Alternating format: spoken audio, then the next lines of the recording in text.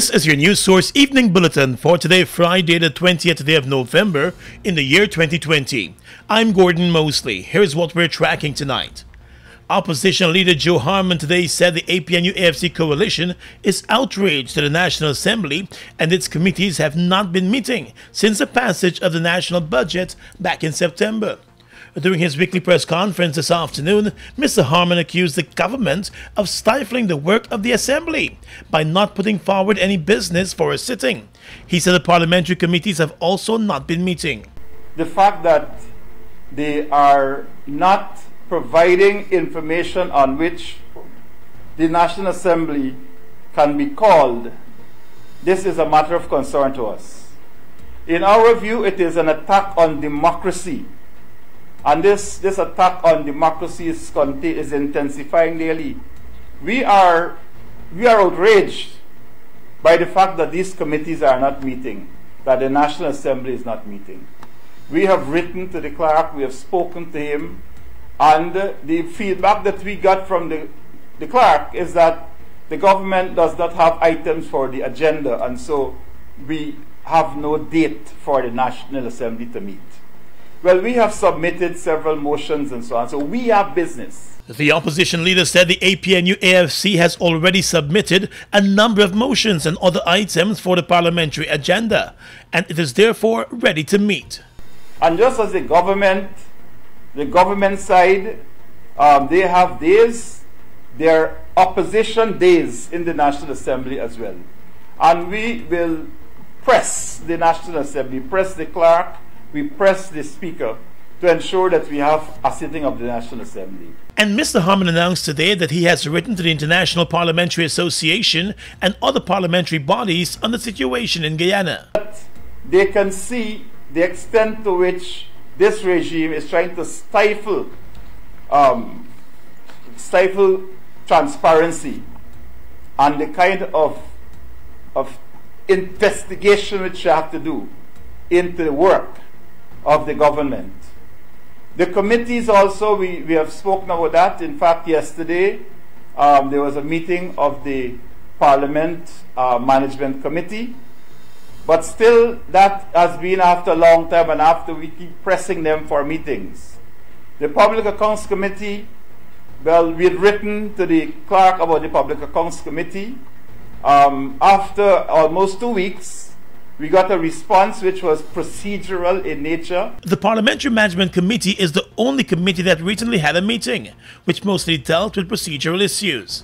Harmon said the opposition is eager for the Public Accounts Committee to get back to its work, which dates back to 2016. He said the government has been making lots of statements about when the APNU AFC was in government, and it would be good now for the committees to begin their work so that ministers and officials in the ministries could provide answers and clarifications. More news coming up in just a moment. Guyana, we've been through it all. But as a people, we have weathered every storm and risen to every challenge. Because it is the people of Guyana that gives it its strength. All the people, regardless of race, class, or religion, we, we are, are one people, one strength. And now is our time. A time to rise. Together, we rise.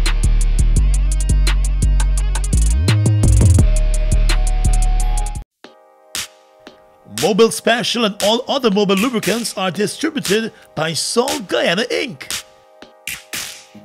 Mobil Special and all other Mobil lubricants are distributed by Sol Guyana Inc. Finally, Miss Pepper is here to tell you about Ravina's on Water Street and Anand's on Regent Street. Just received a fresh shipment of glassware for your kitchen. Mm-hmm. Drinking glassware have beautiful crystal design and are packed in gorgeous gift box. I Ideal to give to your friends, family, and order for Christmas. Ravina's and Anand's have unbeatable prices. Visit them at Ravina's on 78 Water Street or Anand's on 108 Regent Street or call 225 6595.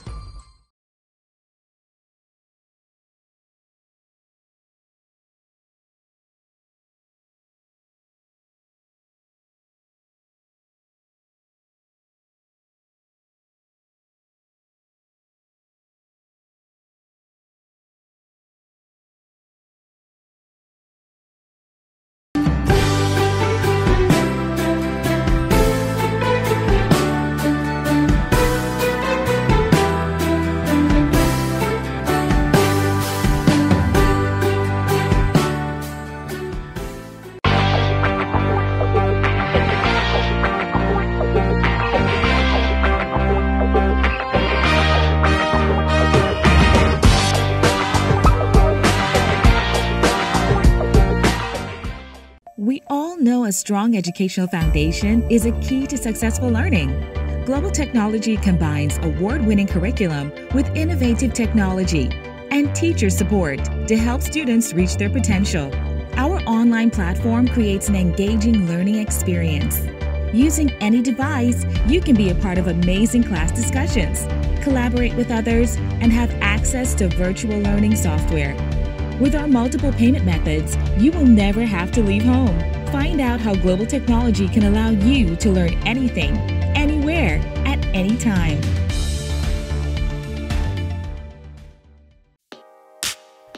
Mobil Special and all other Mobil lubricants are distributed by Sol Guyana Inc.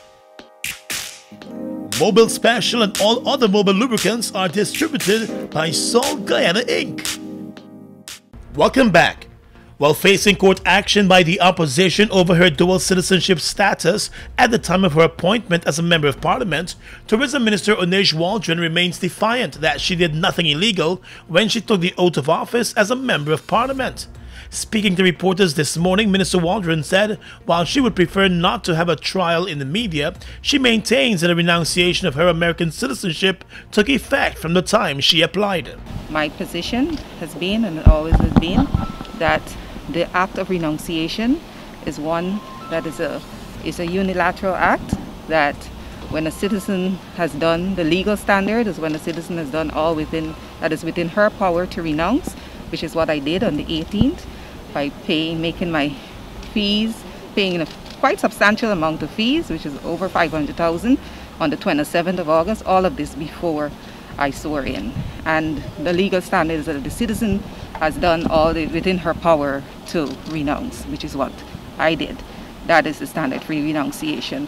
The fact that I received my certificate two days after swearing in, in my opinion, does not um, you cannot support the argument that I um, was there illegally. But based on U.S. Embassy documents provided to the National Assembly by the minister herself, she presented herself to the U.S. Embassy to renounce her American citizenship three days after she was already sworn in as a member of parliament. Questioned about that reality, the minister maintained that in her view, she did all that was within her power to renounce her citizenship before she took the oath of office as a member of parliament. I repeat that the legal standard is that the citizen ought to have done all that was in her power to renounce, which is what I did by indicating to the counselor on the 18th of August that I have renounced.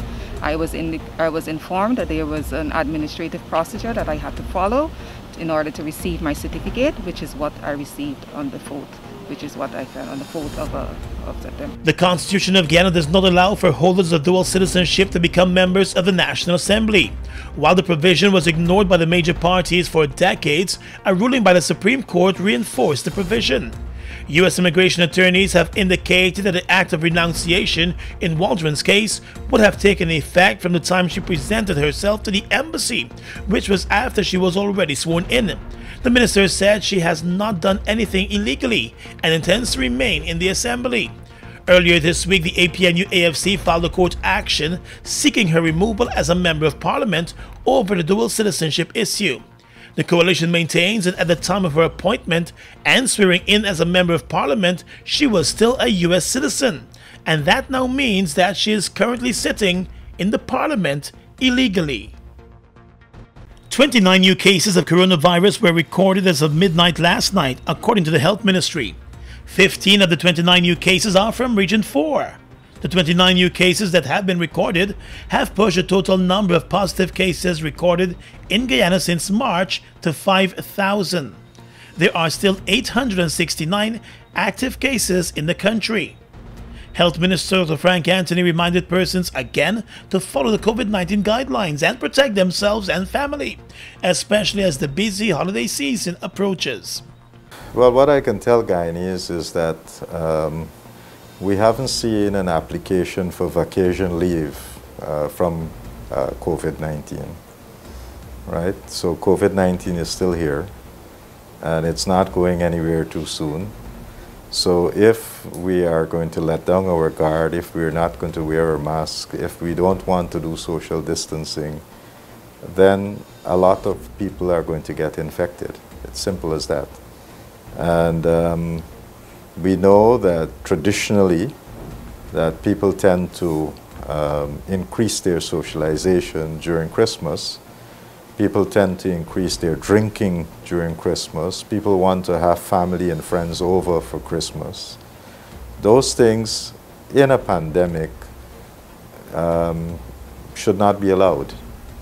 And if you want to remain safe, then you should use the common sense knowledge that we all have and ask your friends and family to hold on. They don't need to come over this Christmas. You don't need to go out and have a drink this Christmas, right? Um, abide by these rules. The government continues to come under criticism over the continuing spread of the coronavirus. And the opposition has accused the government of not doing enough to stem the increase in new cases, especially by its non enforcement of the COVID 19 regulations. Let's tell you now that the 26 Haitian nationals who were taken into protective custody by the government after the police launched a probe into allegations of people smuggling and trafficking remain in that protective custody, and they are not happy about that. The Guyana Police Force and the Ministry of Home Affairs have both remained tight-lipped on the issue, refusing to offer any comment or update. Today, a spokesman for the group of Haitians told News Source that they have been refused a request to meet with an attorney and to also meet with members of the Haitian Friendly Society in Guyana. They continue to be housed at a government facility in Berbice and have been complaining about the conditions there. The Haitians arrived in Guyana from Barbados just over a week ago. They were granted entry into the country for six months. However, days after they arrived, several of them were held by the police at a hotel, while another group was removed from a bus in Linden. The Ministry of Home Affairs later announced that police investigators were probing reports of possible people smuggling and trafficking in persons. The owner of the hotel where some of the Haitians were staying and the driver of the bus the other group was found in were initially arrested, but released without any charges. The Haitians believe they are being discriminated against, and they are calling on CARICOM, which has its headquarters in Guyana, to make representation on their behalf. Haitians usually travel to Guyana to make their way across to Brazil to take up jobs there.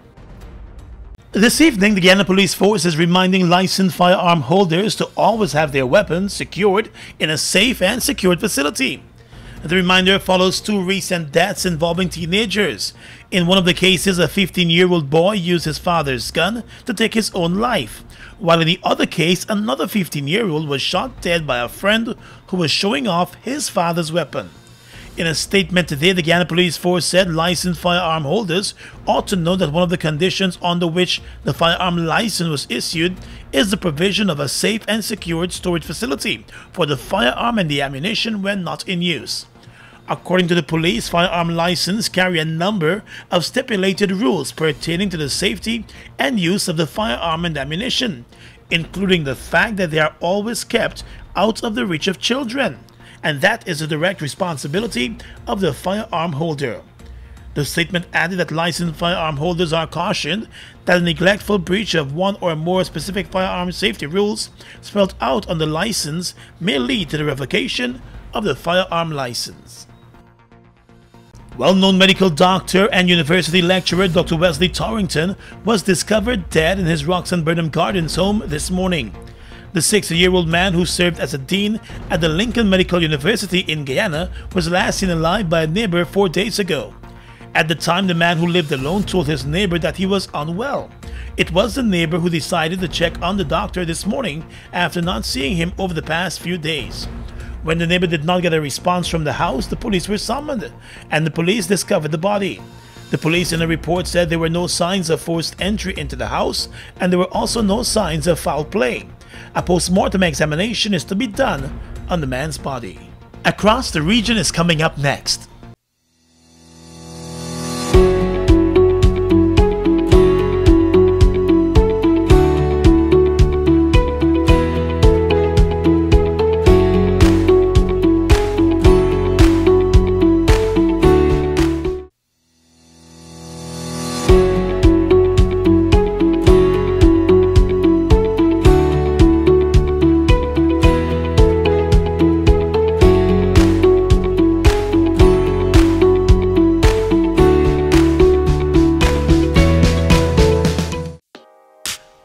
Delvac and all other Mobil lubricants are distributed by Sol Guyana Inc. Mobil Delvac and all other Mobil lubricants are distributed by Sol Guyana Inc.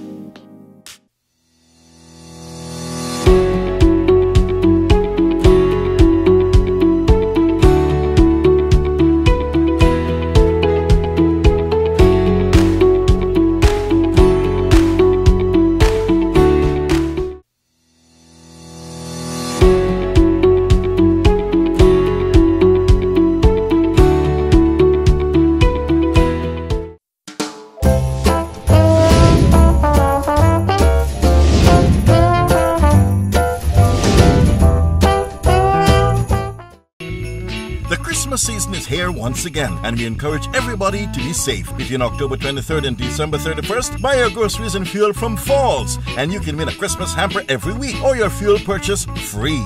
Just spend $3,000, complete the coupon, drop it in the box, and then listen for your name. And to make it even better, you can win a bumper hamper on Christmas Eve day. Yes, our prices are great, the environment is safe, and everyone wins when you shop in the Falls Christmas promotion, Land of Canaan. We are legions of men standing strong, but never too proud to stoop and help someone. We must send a clear signal to all. Do right. Walk in upright ways, knowing that's what being a man is all about. And ever aware that things will only get worse when good men do nothing. Stand strong. Be the one to live But as a people we have weathered every storm and risen to every challenge. Because it is the people of Guyana that gives it its strength. All the people, regardless of race, class, or religion, we, we are, are one people, one strength. And now is our time. A time to rise. Together, we rise.